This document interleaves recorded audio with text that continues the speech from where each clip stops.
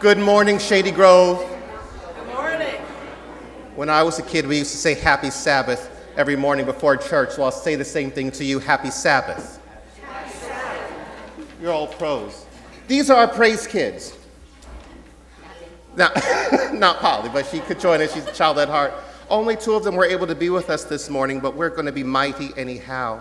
They've been working so hard on learning some very tough words, and they're going to introduce you to them right now. You ready? Yeah. Are you all ready? Yeah. You're going to sing it I think the mics are on. Get my glasses off. Ready, praise kids?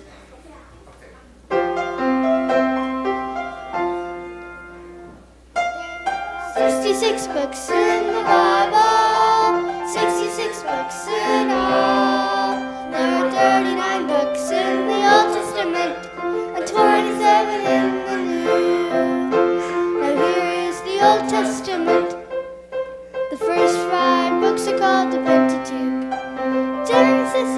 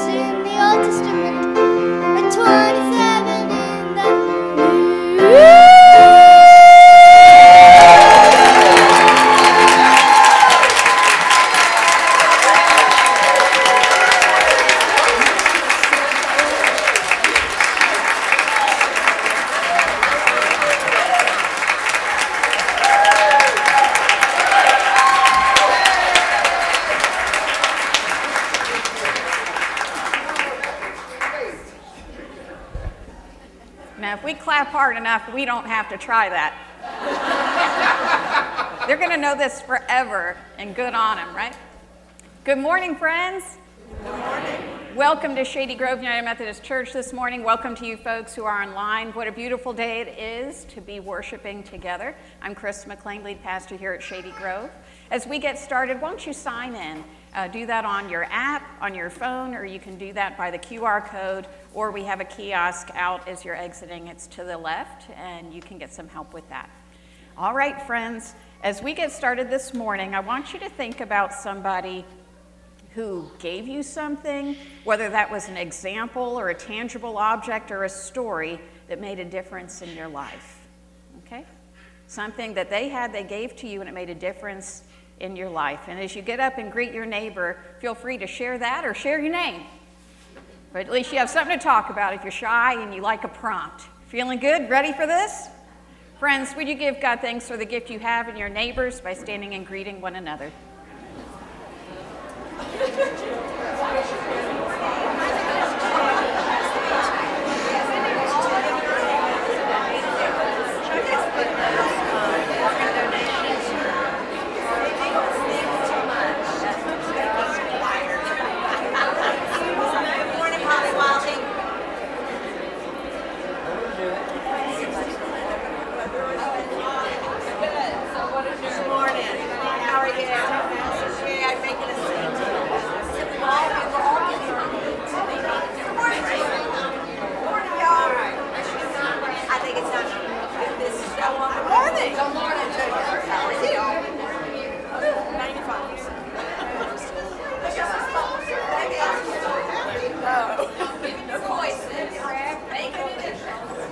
morning.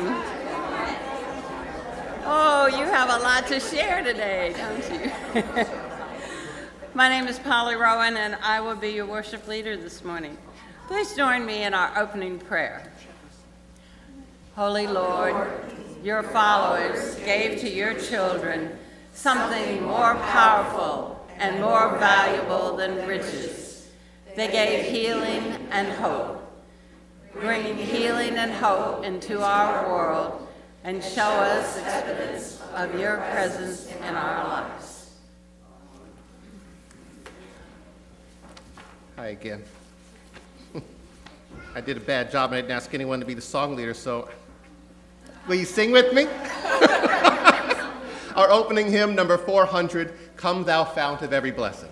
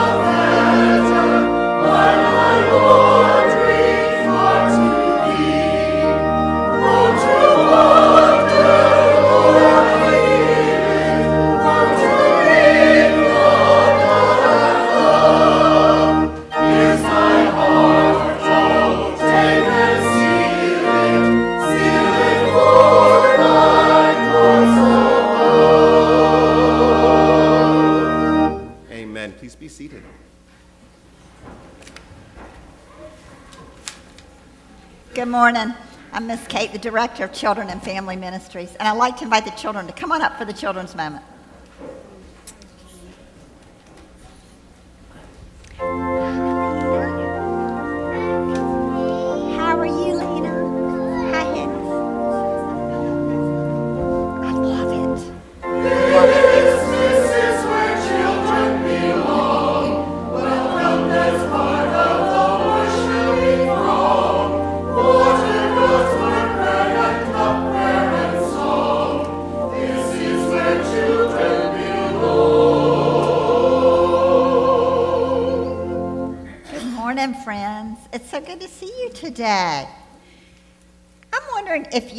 Ever had to be carried somewhere. I mean, like when you're a little baby, you had to be carried around right before you could walk. But there might have been another time you had to be carried somewhere.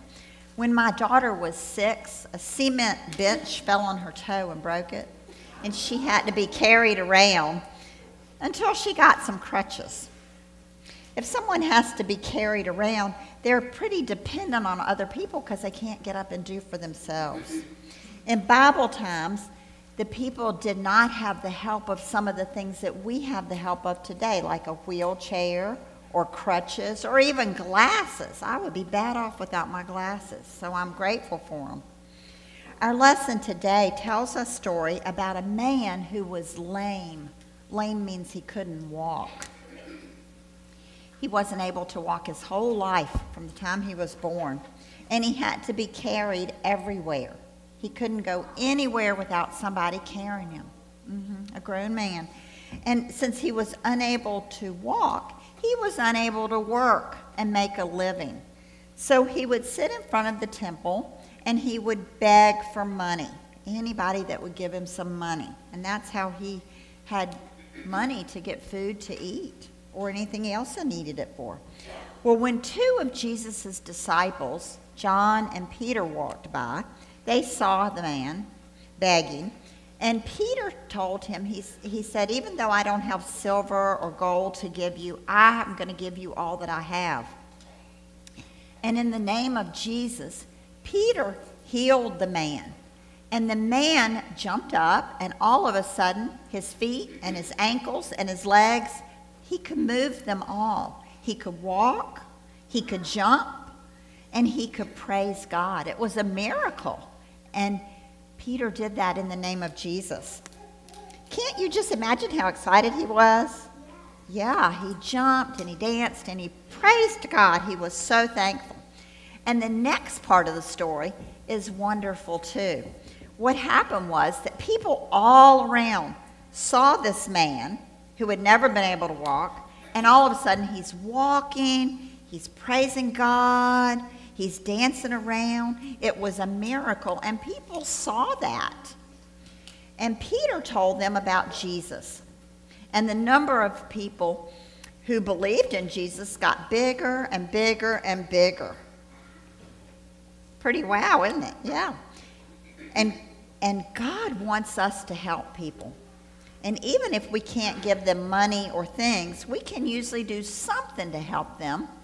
Maybe we can hold the door for them or push a wheelchair or maybe a friend, maybe there's a friend that other people have made fun of and we could be nice to that friend and we could be a friend to that friend.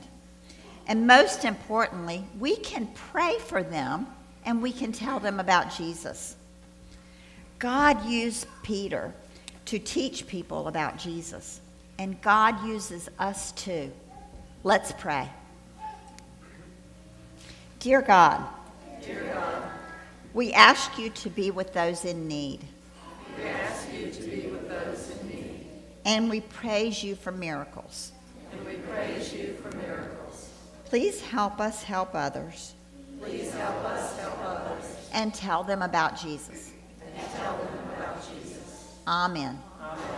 All right, let's go to Sunday school.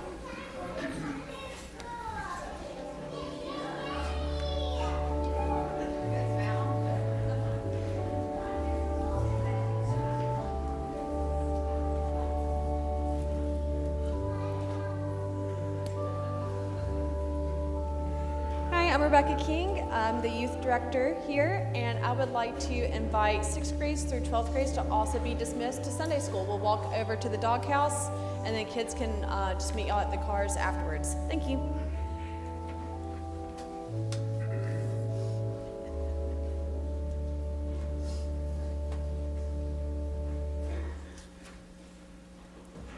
Please join me in the prayer for illumination.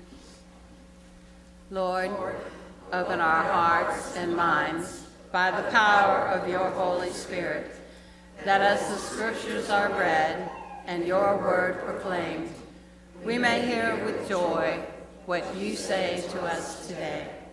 Amen. Our first scripture this morning is from the Gospel of Mark, chapter 6, verses 53 and 56. When they had crossed over, they came to a land at Gennesaret and moored the boat. When they got out of the boat, people at once recognized him and rushed about the whole region and began to bring the sick on mats to wherever they heard he was. And wherever he went, into the villages or cities or farms, they laid the sick in the marketplace and begged him that they might touch even the fringe of his cloak. And all who touched it were healed. Our second scripture is from the book of Acts, and it should sound familiar to you since it was our children's message. but we'll hear it again, as it's in the book of Acts, chapter 3. One day, Peter and John were going up to the temple at the hour of prayer, at 3 o'clock in the afternoon. And a man, lame from birth, was being carried in. People would lay him daily at the gate of the temple, called the Beautiful Gate so that he could ask for alms from those entering the temple. When he saw Peter and John about to go into the temple, he asked them for alms. Peter looked intently at him, and as did John, and said, Look at us. And he fixed his attention on them, expecting to receive something from them. But Peter said, I have no silver or gold, but what I have I give you. In the name of Jesus Christ of Nazareth, stand up and walk. And he took him by the right hand and raised him up. And immediately his feet and ankles were made strong. Jumping up, he stood and began to walk, and he entered the temple with them, walking and leaping and praising God.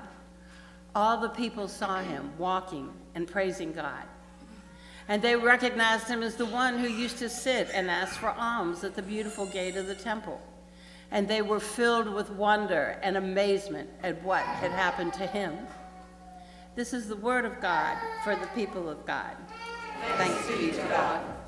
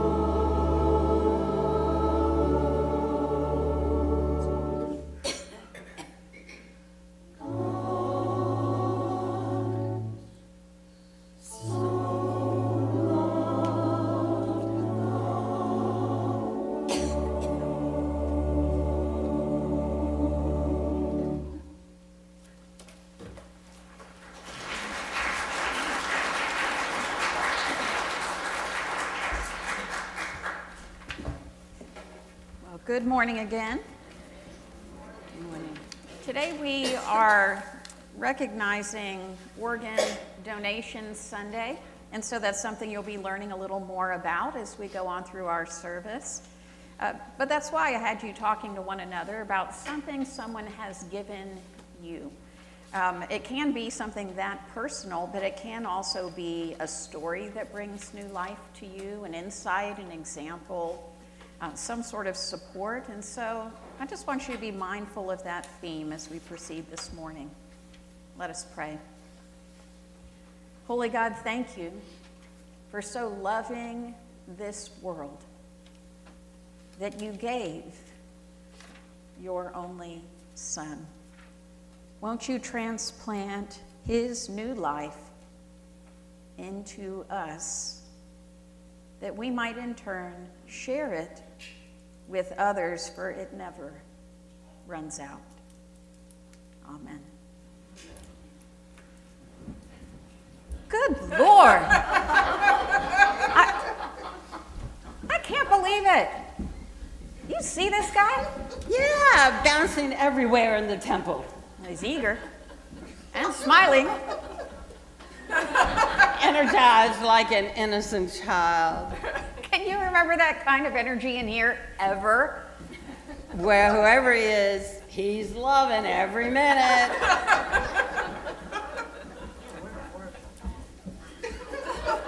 I wish I had that verb. Me too. Hold on. That's Joe. What? Yeah, it's Joe. What do you mean it's Joe? I just dropped him off at the gate. Joe! It's Joe. It's Joe. I can't believe it. I can't either. Praise God. Praise God, who is full of surprises. That's the right woman for the job.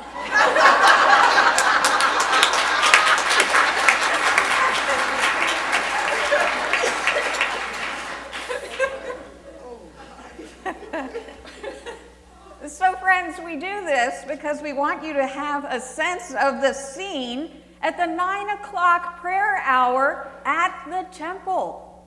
It is a scene of great surprise. A man who had never been able to walk was leaping, dancing, fully healed.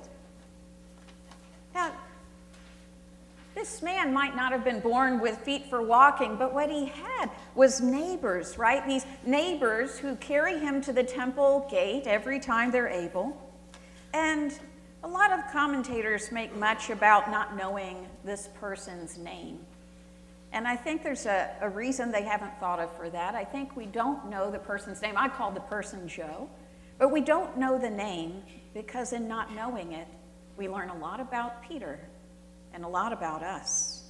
So maybe this character holds up a mirror for us, but they carry this character to the temple gates every time. So that means the, the neighbors who were in the temple, who were seeing this happen, they knew the name. They, in fact, knew his weight because they carried him. They knew his schedule because they were his schedule. They knew his home and his family. They knew his smell. They knew him so well, and they love him. And by giving their time and their strength and their resources for him to live on, they are his feet and they are his home. And so there are a lot of blessings here in the life of this man born lame. And yet, when he's leaping in the temple, imagine whether they were able to recognize him as first. So unfamiliar are his movements. Yeah. when they finally realize who's jumping with joy, the surprise of it leaves them amazed and wonderstruck. How does this happen? They must have been thinking. Because they know they're seeing something that's more than money can do more than their time and strength can do. They're seeing the true power of God. When we see healings in the Bible, we are seeing an inbreaking of the kingdom of God, giving us a picture of what is yet to come. And so, feet and ankles are set right. These unused muscles for a whole life are energized. Never used balance, and this fellow is made strong, all without physical therapy, you know? Yeah. And the man has dance moves at the ready. I know you do. So no human has done this. So, how does this kind of new life get in somebody? Now, Peter is involved in this surprise. And Peter knows it's not his own doing. All Peter does is what all the other neighbors have done. Some of them gave their time, some of them gave their money. And Peter does what they've done he gives what he has. But what was it that Peter had? Peter says to the man, I don't have silver or gold, which means technically the lame man was richer than Peter because he surely had collected some by then. But I don't have silver or gold, but what I have, I give you.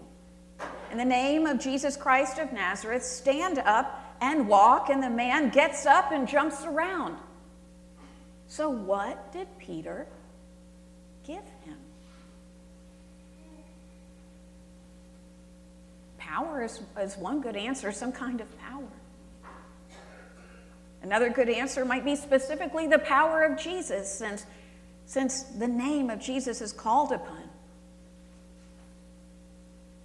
I want you to be guessing and wondering what did he give? Faith? A word of faith? The courage to, to try and step out anew since he says, stand up? I think all of these are pretty decent answers as to what Peter gave, but I think there's one more thing, something very personal to Peter that he has given. And, and this lame man jumping around kind of holds up the mirror to what that is. Because the man who was born lame is free from that limitation in his body.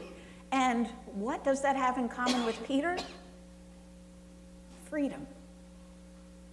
And so I want to suggest to you that one of the ways to understand this scripture is that Peter has offered the same freedom in Jesus that he himself has. It might not manifest in the same way in body, but perhaps freedom is what both men share, one offering the freedom of Christ to another. Peter is free because Jesus gave him a surprise, a transplant, a piece of his own life given into Peter's life.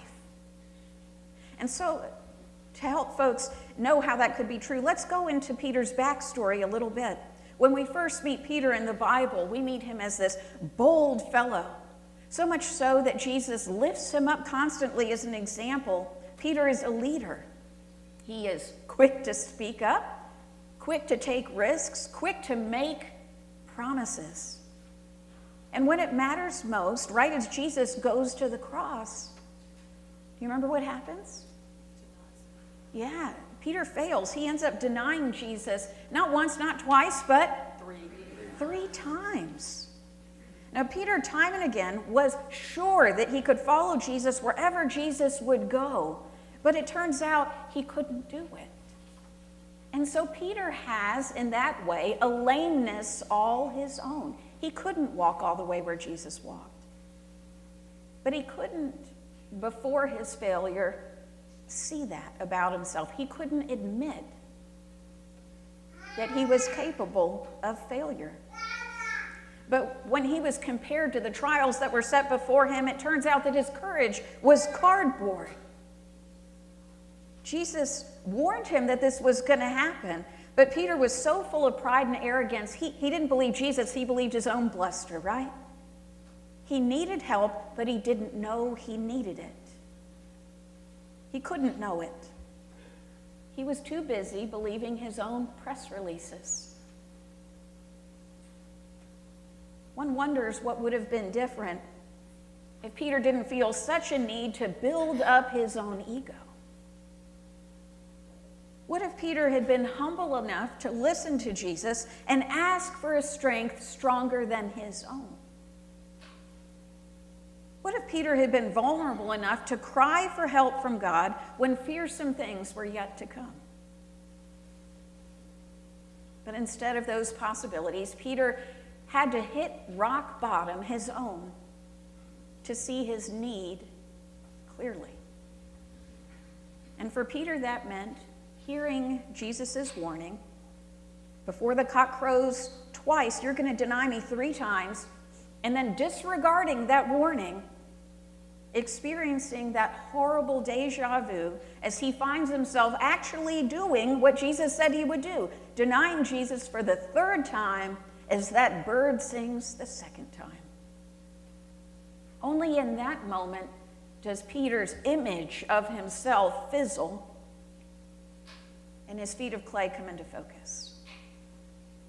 In that moment, he can begin to see his own unfreedom, his own lameness. Jesus was made lame on the cross by the powers of sin and death. He rose on the third day. Was free to walk, free to leap, free to dance, free to live God's way in the world forever. Rising to transplant a real freedom from sin and death into us, giving us freedom from the ravages of our egos, from our fears, our illnesses, unto death. Freedom to live in the power and love of God, freedom to heal and freedom to grow. And I suggest to you that Peter was one of Jesus' first new life transplant recipients. When Jesus rose from the dead, Peter must have been so ashamed to be in his presence. But what does Jesus say to him? He says, Peter, do you love me? And, and Peter says, Yes, Lord, you know that I love you. And Jesus says, Then feed my sheep. And it happens two more times. Peter, do you love me? Yes, Lord. You know I love you. Then feed my sheep. He gets to say this three times. It's a second chance to say what he wanted to say, what he believed he could say all on his own while that cock was crowing. But he couldn't do it all his own. But with Jesus there, loving and forgiving him, he had a new strength. In that conversation, Jesus transplanted a freedom into Peter, and he did it by seeing him and forgiving him and enabling him to stand up, not just in his own strength, but in the love of Jesus. Stand up and start walking, this time humbly, with Jesus. How do you imagine Peter felt on the inside? Beanie? Dancing. I can't dance. That's why we had you do it. I know where to stand and what to do. and so I want you to see this jumping and dancing of the lame man healed, holding up a mirror of the freedom Peter has inside. Now, friends, some transplants we can give to ourselves. Just a doctor's help. We can have banked blood to give back to ourselves. We can experience bone grafts, but we cannot give ourselves a new kidney, a new heart, a new liver. For such things, someone else, what they have, they need to give us. When Jesus gave Peter a piece of his own life, Peter could live in Jesus' footsteps through the power of Jesus living in him. Lame on his own, he could walk with Jesus. And then when Peter sees this man who is lame, this new life he has of Jesus in him, this freedom Peter has, he gives, like a transplant of the new life he has in Jesus into this man. And this leaping shows us that Jesus' new life in us makes all the difference. We sometimes get tripped up on this, we get very literal with this. And the early church fathers would look at that first literal layer and they would see somebody experience a physical healing. And they would expect to see that from time to time. But they would also look at the next layer, a symbolic layer, because that kind of healing might be happening in more than one way, not just in ankles, but maybe in some deeper part of us that needs to be set free. And so they knew it to be a sign of God's inbreaking kingdom, which we don't know fully, but it's coming. And this is a sign of what's yet to come. It's about more than ankles, it's about the freedom and new life that Jesus brings this man who is holding up a mirror to Peter and the freedom he has, but also a mirror to us. Friends, there are two invitations for us this morning that we find in the scripture. The first invitation is when the man born lame holds that mirror up to us because his need is obvious, right? It's right there where everyone can see it. He has a visible need, and some of us have a visible need. But all of us have invisible needs. Can you let yourself this morning sit with the lame man? Can you see his ankles curled up? Ankles that have kept him from walking. And can you let yourself, as you're sitting next to him, be honest about what makes it hard for you to put one foot in front of the other? Peter couldn't admit his need at first. But when he sees this man whose need is right out there, it must have struck a chord with him. When our need is out there, we can finally seek help for it. Can you let your need be known? Can you tell Jesus where you need help? Because surprised that help and that freedom is ready for you. Maybe in your body, maybe in your thoughts, your actions, your experience, your freedom from isolation, your need to be freed from fear. Friends, I want you to think about this first invitation. Maybe this is how Jesus is calling you today to name a need as the prelude of giving you the surprise of strength to keep walking or walk anew with Jesus' heart, mind, strength, spirit in you, and you in Him. Hard to get a transplant before a diagnosis. The second invitation we find in Peter. Early in his life, he had know how and strength his own that he relied on, but later in life, he accepted that he can't be everything. He can't be all things, and he doesn't have to be enough alone. And he began to live out of his brokenness. Friends, we are stronger when we can admit our weakness, and we are wiser when we understand what we don't know. So maybe in your life you've hit your rock bottom, and you've learned to lean on Jesus as your rock instead.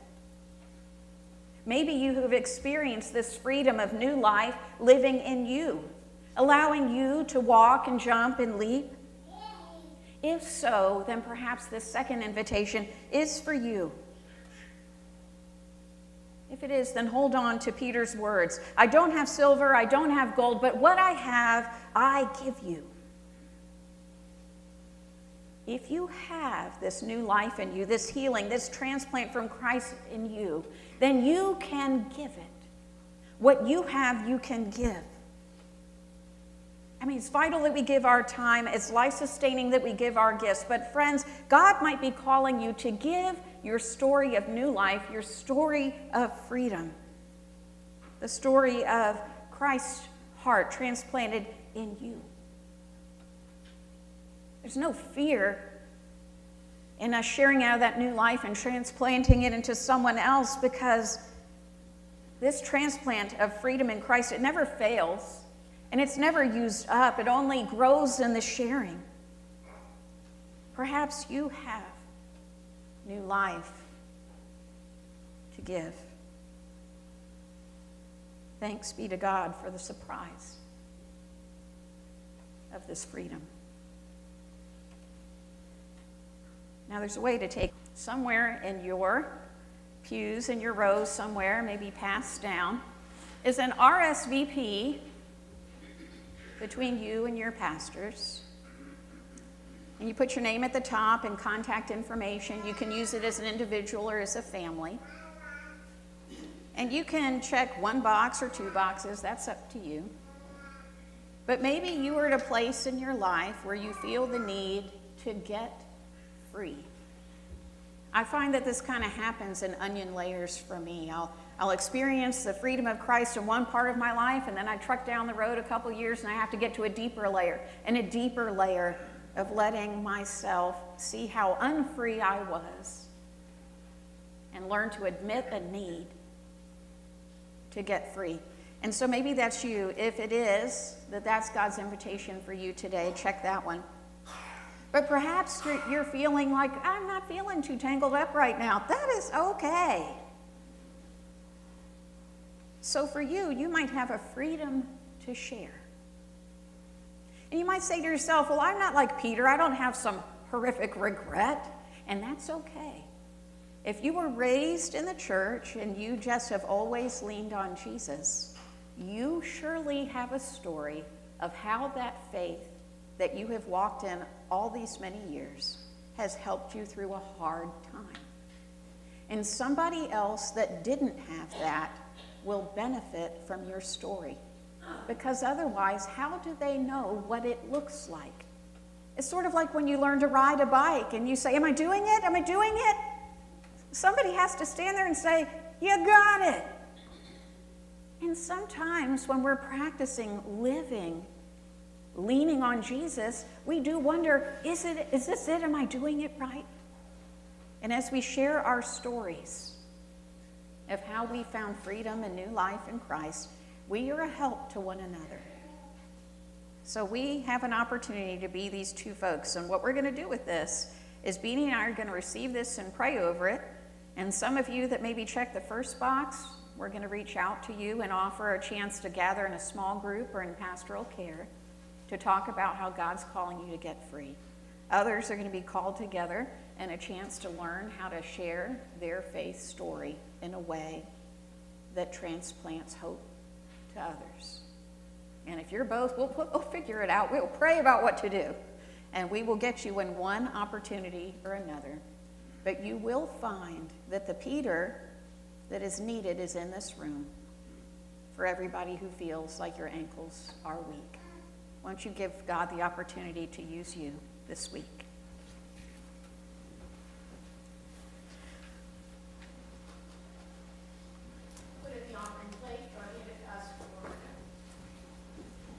Thank you, Chris. Praise kids at heart. Will you stand as children of God and sing with me again hymn number 141 Children of the Heavenly Father?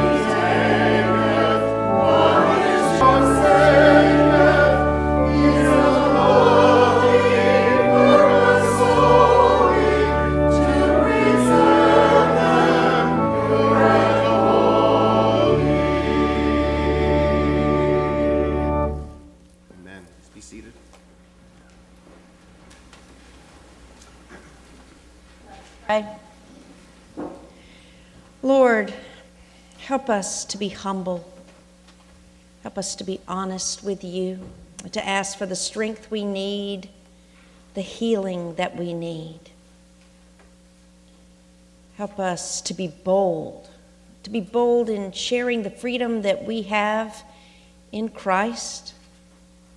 Help us to be able to stand up and dance about the love that we feel, the grace that we receive.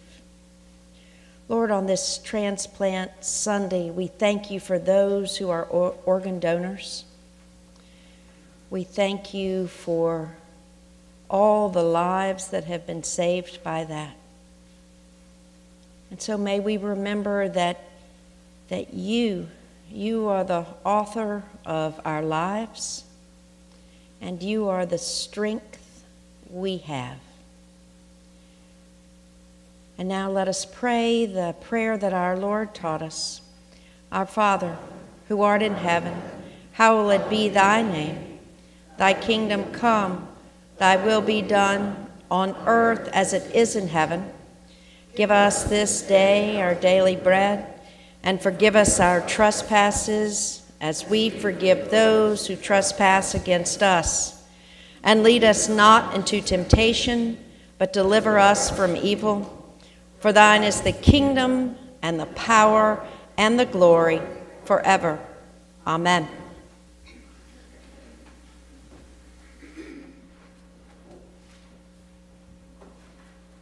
To guide us on this uh, transplant organ donation Sunday, I give you Beth Lighthizer. Yeah, come on. Good morning. Can you hear me okay? So, like Chris said, my name is Beth Lighthizer. Um, my husband Joe and I have been members here at Shady Grove since 2013, and she asked me to come talk to y'all today about how organ donation has impacted our family. Back in 2017, our son Graham was born very sick with multiple heart defects. We spent the first month of his life at CHKD in Norfolk, and then we were transferred to UVA Children's for Graham to be evaluated and placed on the transplant list. We got to come home for a little bit, but ultimately his heart failure worsened and turned into total cardiomyopathy. His only chance of survival at this point was a transplant. Graham received his hero heart at just four months old. He's now a thriving six year old who's about to finish kindergarten. When he was born, we truly didn't know how much time we'd have together, but on April 30th, we get to celebrate six years of this gift beating in his chest. Chris came to visit us many times throughout our hospital stays, and we were so fortunate to have her be with us as Graham was in surgery. We prayed together, and she asked each of us to tell her how we were feeling at that moment. Hope is the word that came to mind for me. Because someone chose to donate, donate their child's organs, their child's heart to our child, we now had hope for a future together. That's what organ donation does. It gives the gift of life, and there is nothing greater one can give. There are over 100,000 people currently listed on the transplant list. 86% of those are waiting on a kidney. Organ donation can be done through both deceased donation or living donation. And I want to um, dispel some myths about deceased donation. Organ donation from a deceased donor is only considered when someone has suffered brain death. Being registered as an organ donor does not change the quality of care a patient receives. Most deceased donors have passed from a stroke, heart attack, or a severe head injury. By choosing to be an organ and tissue donor, one person can save up to eight people and improve the lives of 75 others. It's also possible for someone to be a living donor by choosing to donate an organ or part of an organ to someone waiting, typically a kidney or part of one's liver. Living donation can be done in three different ways. Directed donation is where someone gives their organ directly to a friend, relative, or someone in need that they've been made aware of. Paired donation happens when two or more pairs of living donors swap to make compatible matches for their loved ones and non directed donation is donating an organ without naming a recipient. For paired and directed donation, donors will follow protocols set by the transplant center in which the recipient is a patient. To be a non directed donor, one can contact local transplant hospitals to inquire about their programs and the next steps forward. Typically, this looks like filling out a questionnaire and undergoing a medical screening. The three closest to us here are VCU, um, which does uh, kidney and liver, Henrico Doctors, which does kidney, and then UVA, which does liver and kidneys. Links to these programs, as well as the National Donate Life Registry, are provided on a handout you can get on your way out, um, along with some other goodies from the United Network of Organ Sharing um, after the service. It's easy for me to stand up here and gush about the receiving end of organ donation. We've gotten to experience the joy of watching our son grow, but it's not lost on us that Graham gets to live while someone else's child does not. When Graham was first listed for transplant at just six weeks old, the first person I told, after our families, of course, was my friend Christina. I met Christina at my first teaching job where we taught seventh grade together. She and I instantly bonded, and as I grew to know her, I learned that she had lost her son Joe just a few months shy of his ninth birthday. I asked Christina to write a little something for me to share with you today about the giving side of organ donation. Here are her words. Good morning, everyone. Thank you for allowing me to share a bit about our sweet Joseph, who unexpectedly became an organ donor at the age of eight and a half on January 2nd, 2010, due to an undiagnosed AVM. In June of 2009, I had to break the news to my sons of their great Aunt Kathy passing away. At that moment, both of my boys brought up organ donation and how, if anything ever happened to them, to take everything but their eyes so they could see what was going on up there in heaven. Not seven months later, before Joe turned nine, he became an organ donor. He successfully donated both kidneys, his liver, and his pancreas. His unexpected death threw our family into a state of crisis and turmoil. In those moments of utter destruction, the one thing we knew for sure was that our boy wanted to be an organ donor. When we were approached by Donate Life, we knew without a doubt that we would donate everything we could except his eyes. In those raw moments, his literal words were the law we abided by. With our earthly eyes and understanding, we wanted him to have his eyes so he could see heaven. As the years have passed, we are certain he would have wanted us to donate those as well. But in the midst of reconciling that your beautiful child will not be coming back to you, their words become the literal path of honor and legacy. There have been many dark hours over the years, as anyone who has lost a child understands. But the fact that Joe's unexpected death gave others a new lease on life, another day, a second chance, is always our guiding light. We have even had the pleasure of meeting one of his recipients, and we all felt God's presence in this reunion. I could share synchronicities that could not be explained in any other way than our boy lives on through his organ recipients. One of our favorite things is his recipient who got his right kidney always refers to it as Little Joe. Each Christmas card or Easter card is signed with love from her name and Little Joe.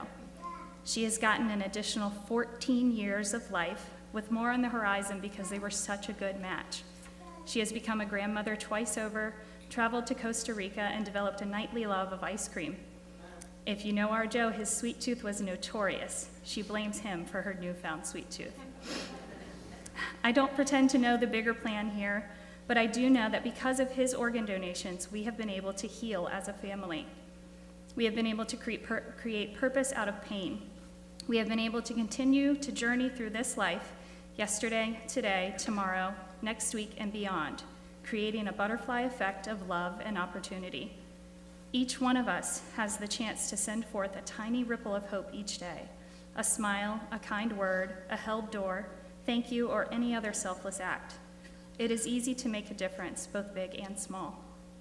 Joe made a difference, and you can too.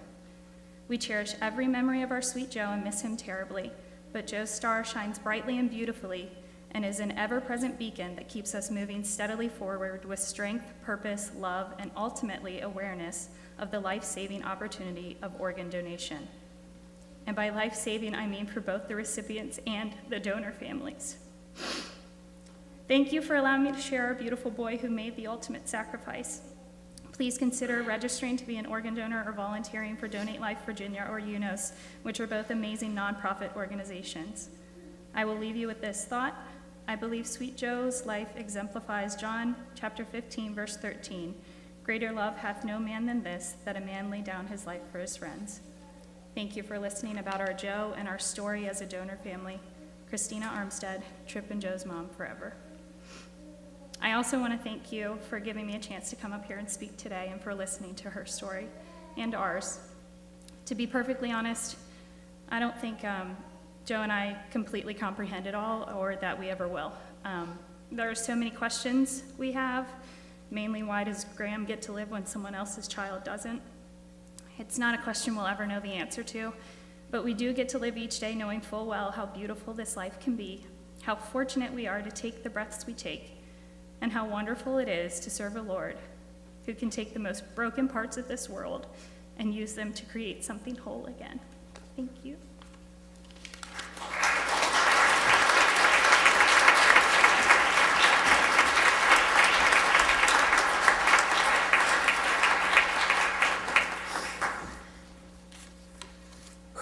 What a beautiful message. Jesus said, Don't be like the hypocrites, but to tithe with love of God in your heart.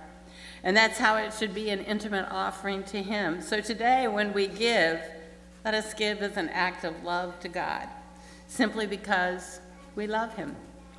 And you may generously give as the ushers pass the plates by you and place your offerings, or you can uh, go online and text SERVE to 73256 or to give to shadygroveumc.net slash give.